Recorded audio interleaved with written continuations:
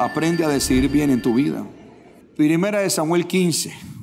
Después Samuel dijo a Saúl, Jehová me envió a que te ungiese por rey sobre su pueblo Israel. Ahora pues está atento a las palabras de Jehová.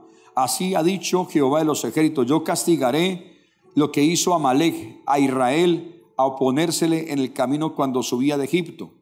Ve pues y hiere a Amalek y destruye todo lo que tiene y no te apiades de él. Mata a hombres, mujeres, niños y aún los de pecho, vacas, ovejas, camellos y asnos. Versículo 7. Y Saúl derrotó a los amalecitas desde Ávila hasta llegar a Shur, que está al oriente de Egipto, y tomó vivo a Gag, rey de Amalek.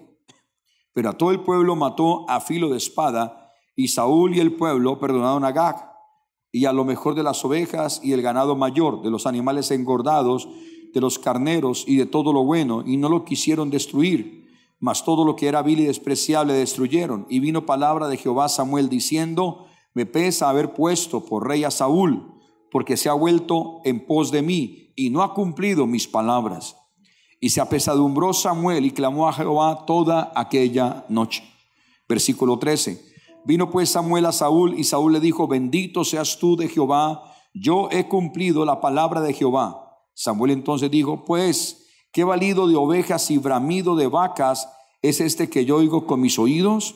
Y Saúl respondió, de Amalek lo han traído porque el pueblo perdonó lo mejor de las ovejas y de las vacas para sacrificarlas a Jehová tu Dios, pero lo demás lo destruimos. Esa es de las cosas más equivocadas y erróneas que una persona puede hacer.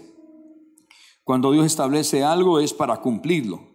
Dios te hace un llamado para que cumplas una misión. Dios llamó a Saúl y lo unge como rey para que cumpliera una misión. Dios te llamó a la iglesia, Dios te llamó a ser parte de su pueblo para que cumplas una misión.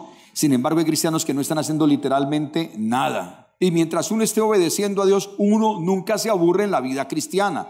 ¿Cuándo se aburre en la vida cristiana? Cuando uno no hace nada para Dios, cuando uno es desobediente, cuando uno le lleva la contraria a Dios. Eso le pasó a Saúl. Dios le dio una instrucción. La palabra de Dios es una instrucción para cumplir con una misión. Y la misión era, usted va a ir, se va a levantar. Yo he decidido, Dios dice, yo he decidido acabar con Amalek, porque Amalek fue un pueblo que cuando mi pueblo Israel estaba en Egipto y salió de esa esclavitud en pos de la tierra prometida, este pueblo se le opuso y le hizo la vida imposible a mi pueblo y tuve que derrotarlo. No era no era lo que tenía que hacer Amalé. Amalé tenía que simplemente entender que era el pueblo de Dios y dejar pasar al pueblo de Dios, pero no quiso dejarlo pasar y le tocó a ellos, en medio de su cansancio, en medio de no tener experiencia en la guerra, enfrentar la guerra contra Amalek y tener que vencerlos. Pero eso que hizo Amalek, Dios lo trajo a juicio. Y, levantó a Saúl y lo llamó para que cumpliera los juicios de Dios. Usted está llamado por Dios a cumplir juicios del Señor, a cumplir mandatos de Dios. Tenemos que ser conscientes de las cosas de Dios. No puedo cambiar la gloria de Dios por la gloria de los hombres. Mi prioridad es Dios. Saúl se olvidó de eso y Saúl hizo lo que le dio la gana. La semilla en tu vida son tus decisiones. Pasan primero por un pensamiento y lo primero que tienes que hacer es pensar bien, ¿oís? Y Saúl terminó deseando lo malo y haciendo lo malo. Entonces lo que tú piensas, tienes que pensar bien y tienes que oxigenar y limpiar tus pensamientos. Pero igualmente es necesario identificar qué es lo que usted quiere, qué es lo que Dios quiere que usted haga. ¿Qué es lo que Dios quiere que usted haga? Santiago 1.14 dice todo lo contrario, cada uno es tentado cuando sus propios malos deseos lo arrastran y seducen. Luego cuando el deseo ha, ha, sido concebido engendra el pecado y el pecado una vez ha sido consumado da a luz la muerte. La paga del pecado, dice la palabra, es la muerte y algo va a morir en tu vida. Si usted y yo, si pecamos, algo va a morir, algo vamos a perder. Nunca el pecado nos deja libre de perder algo o de que se muera algo. Incluso gente que pierde la propia vida en medio de su pecado y paga a veces con lo más preciado que es la muerte de un familiar, la muerte de un hijo, la destrucción de un matrimonio, la quiebra de una empresa o simple y llanamente la pérdida de un ministerio. Y hay gente que nunca más vuelve a levantarse porque simple y llanamente nunca se arrepintió. Proverbios 28, 13 dice, el que encubre su pecado no prosperará, pero el que lo confiesa y se aparta, éste alcanza misericordia. Yo veo gente jugando con eso.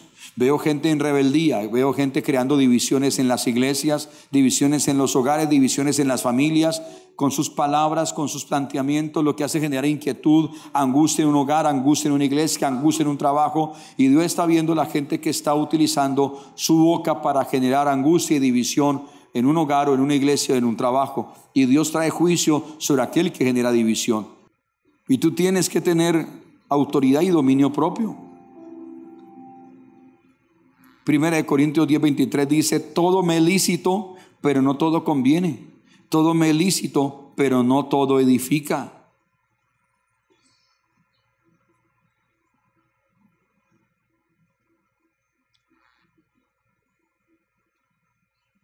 ¿Qué tiene de malo? Dice la gente.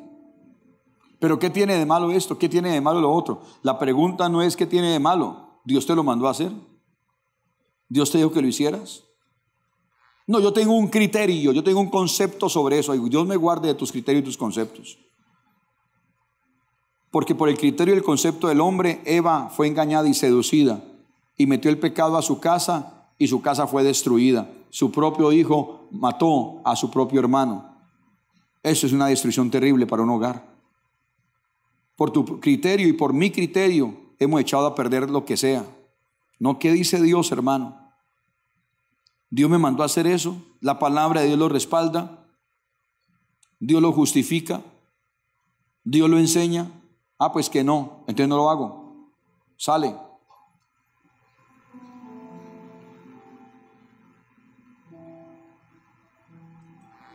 Tenemos que ser firmes y mantenernos en las decisiones que Dios nos entrega. Manténgase firme, hermano. No por un problema deje de hacer lo que Dios lo manda a hacer. Ay, tengo un problema en la empresa. No deje de hacer lo que Dios lo manda a hacer en la empresa por un problema. Tengo un problema con mi marido. No deje de hacer lo que Dios le manda a hacer usted por un problema.